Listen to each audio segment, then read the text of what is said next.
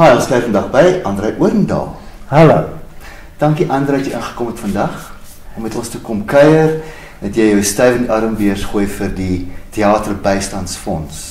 Nee, altyd, altyd, altyd is ek gereed vir die teaterbystandsfonds. Ehm ek het groot respek vir die organisasie en vir die mense soos Gert en Louis en Liz en almal wat betrokke is. Ja, absoluut. Ja.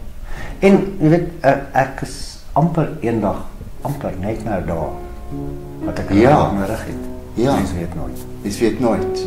Nou goed, ons gaan nou lê en dan gaan ons begin met die masker. Goed.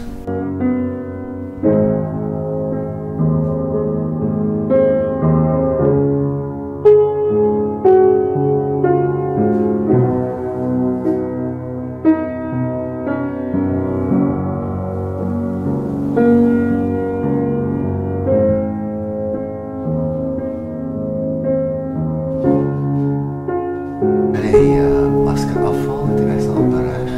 Het al warm en koud geword, nê? Nee, hieronder. Het ons goed kom ons kyk wat gaan aan hier. Uh, dit jy voel voel hy. Ja, ek kan jou gesig beweeg as jy wil. Is jy okay? Ja. Das hy. My goodness, en dit is die baba. ja. Dit is interessant. Te voel hy swaarder word. O, jy moet 'n bietjie van die gewig neem. Maar dis Hy eintlik begin mos dan net met een laag en dan Ja. en dan hoe hy s- hoe hy swaarder.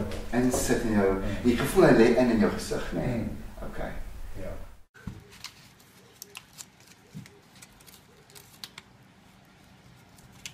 Ons dit af.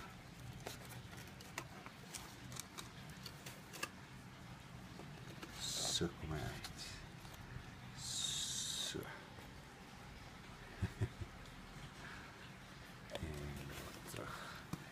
Oops.